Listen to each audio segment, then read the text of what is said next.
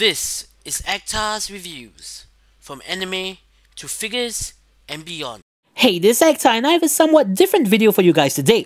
Yes, as you can see, I managed to get my hands on the coveted Marvel Legends Infinity Gauntlet replica. With Infinity War on the way, as a huge fan of Marvel and the MCU, I have never been more hyped for a movie.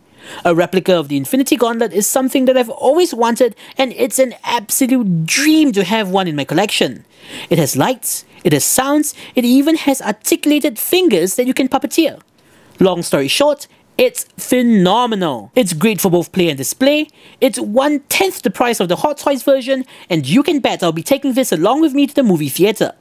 The only thing I wish they could have done was to make the Infinity Stones removable and give each stone a unique sound. Kinda like what they did with this Thanos figure. The green time stone will slow you down. Now, as many of you guys would know, this channel is more focused on Japanese collectibles. The thing that galvanized me to make this video is that watching some reviews on YouTube, it seems that many people aren't aware of all the features of the gauntlet, even professional reviewers. Normally, what you would do to turn the lights on is to press the Mind Stone or to move the fingers.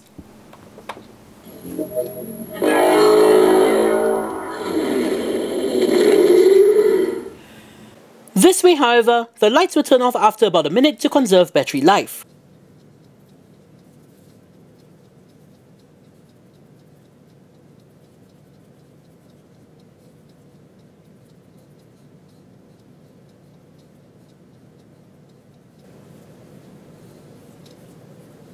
Wouldn't it be great if you could display the gauntlet for long periods of time without the lights going out? Well, there is indeed a setting where you can leave the lights on. When the lights are all off, instead of a short press, press and hold the Mind Stone until it lights up.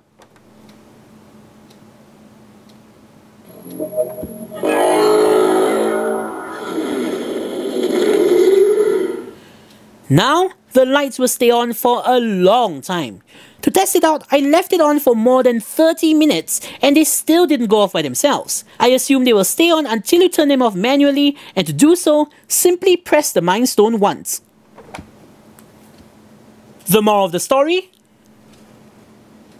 Read the instructions. And before we end off, here are several other tidbits that you might not know about. In normal mode, to extend the time the lights stay on, simply press the Mind Stone again.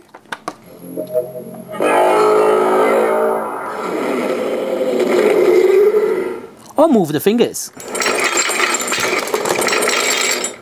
Move all five fingers in this sequence to activate the sounds without having to hit the Mind Stone.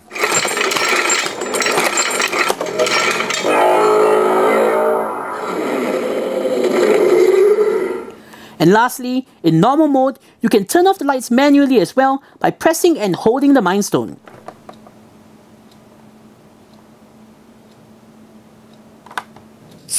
Is saying, see you guys in the next episode and this does put a smile on my face.